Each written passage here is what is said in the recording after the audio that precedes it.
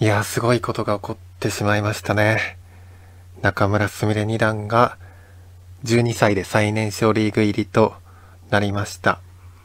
で、中村すみれ二段の今年の成績が24局打って22勝2敗。勝率が9割1分7厘ということで、全プロ棋士の中で勝ち星勝率ともに第1位ということになりました。で、昨日の動画のコメントで、終盤の予選の部分も解説してほしいというコメントがあったので、今回緊急で動画を撮っていきたいなと思います。黒番が中村2段、白番が鳥居3段ですね。棋聖戦のリーグ入りをかけた一局ですね。勝った方がリーグ入りです。で今白が左上に一手かけて生きたところですね。で、黒が右上の大きいところに打ちました。で、ここですね。実戦こちらに飛びを打ったんですけど、この手が少しだけ守りに入ってしまった手だったようですね。今、現時点の形勢が相当細かいので、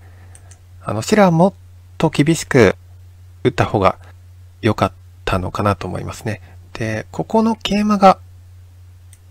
大きかったのかなと思いますね。ここの桂馬が上辺の黒が弱いので、これが先手で効いてるんですね。黒がこちらに打って、頑張るのはこちらに伸びられて、で、白に行って、受けられて、ここの上辺の形が非常に味が悪いんですよね。何か手抜きたいんですけど、これすぐにこれ出られてしまって、黒緩めるのはどんどん出られて、これは崩壊してしまうんですね。こちらの、こっち受けると、こちらの白石取れてた石が復活してしまうので、で、黒石も取られてしまうので、これ黒潰れちゃうんですね。なので、結局出た時に抑えるしかないんですけど、切られてしまって、切られてしまった黒石が相当危険な状態になってしまって、これ黒が潰れてしまうんですね。なので、まあ、黒はここまで頑張ることができなくて、この白の桂馬に対しては単に連絡してるぐらいの相場になるんですね。で、白これが先手で決まるのがまず利かして、で、白からもう一つ利かすべき場所がありまして、こちらの当て込み、ここがですね、両先手みたいなところで、これ白からの権利だったので、白これ決めといた方が良かったのかなと思いますね。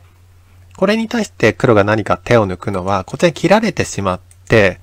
この切りが非常に大きいんですよね。なので、まあこれは、次と見るところなんですね。で、この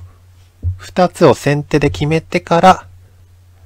まあ、こちらの鳥が大きいので、ここに回ってれば白が少し残っている5だったのかなと思いますね。こちらの黒の一目かなり見た目以上に大きいところでして、ここの黒石取っておくことによって黒がここまで行く行くことができないんですよね。ここまで行くと、これは連絡してないので、例えば、こちらに打たれても、これ黒が連絡してないので、取られてしまうんですよね。まあ、こちらに打っても、まあ、こちらからこういう風に切断していっても、黒が繋がってないので、黒、大ゲーマに打つことができないんですよね。なので、一路控えるぐらいなので、まあ、これは、かなり真ん中の白地が大きく囲えてたのかなと思いますね。なので、こちらに打ったんですけど、まあ、この手が少し小さかったようですね。で、先ほどの図の補足なんですけど、ここに打った時に正しくはですね、黒単に受けるとこれすごい効かされなので、正しくはこの瞬間に、こちらにコスむのが黒の最善なんですね。これは、この黒石が弱いので、これを決めてからコスミ。これが手順なんですね。まあこういう進行になるのがお互いの最善だったのかなと思います。で、白もですね、この黒からのコスミを効かされるのが悔しいので、先にですね、この桂馬打つ前に、できればこれが先手で決まるなら、白の権利であれば決めたいんですけど、これがですね、白の権利ではないんですよね。この瞬間打ってしまうと、これ真ん中が大きいので、先にこっちに打たれてしまうんですね。飛び込みを打っても出られて、まあ一応これで止まってる形ですので、ここの真ん中がですね、見た目以上に大きいところなんですね。なので、ここ飛ばれると真ん中の白地がだいぶ消えてしまいますから、コスミは白から打てなくって、このコスミは黒の方が打てる可能性が高いという場所だったのかなと思います。で、実戦はこういう進行になりまして、で、黒がね、こちらまで踏み込むことができたんですよね。この、これも白の受けとなれば相当な利かしなので、これが黒を先手で得したのかなと思いますね。で、これを打って、で、覗きも利かしになりまして、で、ここの割り込みですね。ここがですね、両先手みたいな場所だったんですね。白からこれ、ここに当て込みを打てば、白から打てば先手で決まるところだったので、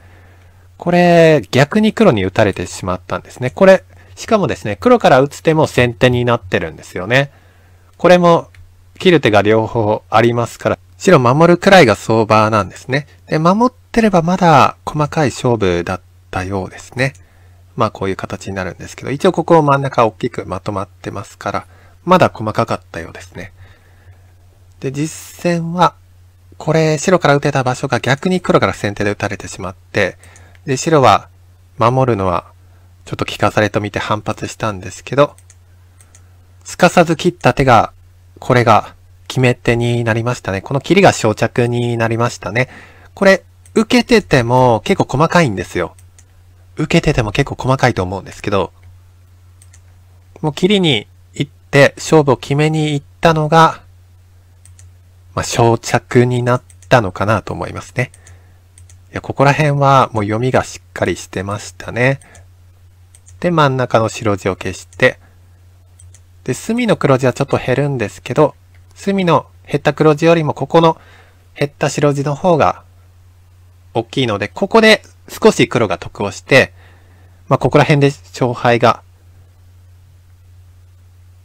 まあ、黒の勝ちに傾いていったのかなと思います。で、こちらの飛び、ここで今ちょっと黒が優勢なんですけど、この飛びが本手で手厚い手でしたね。これはですね、いい手でしたね。これは本当に、あの、寄せとしての最善だけを求めるなら多分コスミが一番大きいんですよね。この局面っていうのは。これ黒の方が権利が強い場所なので。で、これは効くんですよ。で、これを打って、で、このコスミを打ってからここの黒地が弱くなったので、まあ一手、こちらに、かけ継ぎぐらい。で、白も、かけ継ぎぐらい。で、まあこちらに、ここの、桂馬で一目取っておく。この白の一目取っておくっていうのは結構大きいので、まあこういう風に打つのが多分ですけど、まあ寄せとしては最善なのかなとは思うんですけど、黒ここまでしなくても、結構はっきり勝ってそうなんですよね。なので、この局面では、中村すめ二段が打ったこの飛びがですね、まあ一番勝ちやすいという判断をして、まあこれで実際勝ってますので、中村二段の判断が正しかったのかなと思いますね。これもですね、まあここら辺の黒を強化しながら、この上辺の、まあ黒唯一心配なのが、この上辺の黒石の薄いところがちょっとここら辺薄いので、ここら辺がちょっと心配なので、まあ、一手補強したのは本手ですね。で、ここのやっぱ羽継ぎもね、大きいとこですね。ここは多分字としても結構大きいところかなと思いますね。一番大きいと言ってもいいぐらい。